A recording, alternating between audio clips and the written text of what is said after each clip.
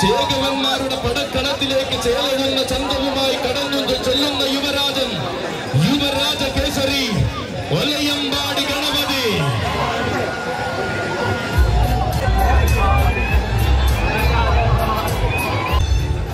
പ്രിയമുള്ളവരെ ഓരോ കരിവീരന്മാരും കടന്നു വരുന്നതിന് വേണ്ടി വേദികൾ ഒരുക്കുക.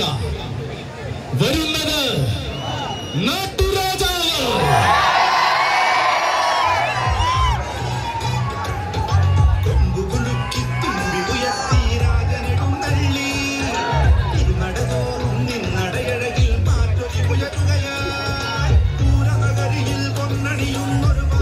ഒന്നിച്ചൊന്നായി ഒരേ മനസ്സോടെ ആഘോഷങ്ങൾക്ക് സ്ഥാനം നൽകുന്ന പഴഞ്ഞിയുടെ ഒരുമയിലേക്ക് ഇതാ പ്രൗഢിയോടെ ഒരു നായകൻ കടന്നു വരുന്നു.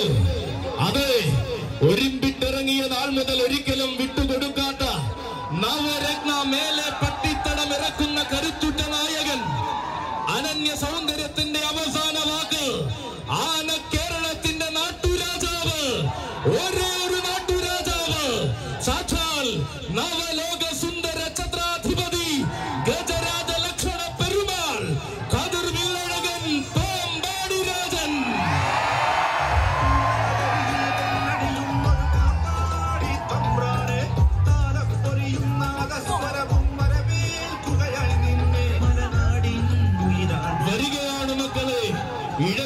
ചങ്ങാതിമാരായ സാരഥിമാർ കാച്ചാം കുരിശി സതീഷിന്റെയും കൊല്ലംകോട് മനോജിന്റെയും കൈകൾ പിടിച്ചുകൊണ്ട് ആന കേരളത്തിന്റെ വീര പ്രജാപതി വരികയാണ് മക്കളെ. പതിനഞ്ചു വർഷത്തെ വരവിലും നവരത്നയുടെ മാത്രം നായകനായ നവലോക സുന്ദര ഛത്രാധിപതി വരികയാണ് മക്കളെ. കോടനാടിന്റെ കാനന സീമയിൽ നിന്നും കോടി കോടി സൂര്യപ്രഭയോടെ ഉദയം കൊണ്ട കതിർവിൽ അഴകൻ വരികയാണ്. പേരെടുത്ത നേരിടുന്ന നായകത്വത്തിന്റെ പെരുമാളായി മാറിയവൻ. പട്ടങ്ങൾ കൊണ്ട് പട്ടാഭിഷേകം ചൂടിയപ്പോൾ കാലം വിശ്വവീര സുന്ദരൻ എന്ന് കാതിൽ വിളിച്ചവൻ. അതെ ഇവനാണ് മക്കളെ ഗജരാജ പ്രജാപതി.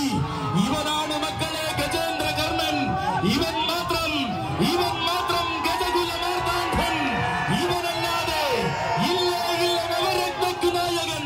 ഒരേ